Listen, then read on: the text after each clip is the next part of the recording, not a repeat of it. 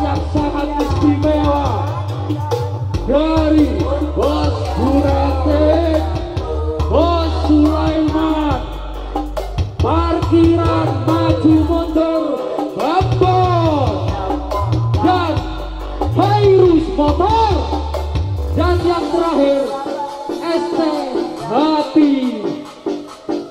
Kami harapkan, kami doakan. Semoga rezeki panjenengan panjenengan semua tambah lancar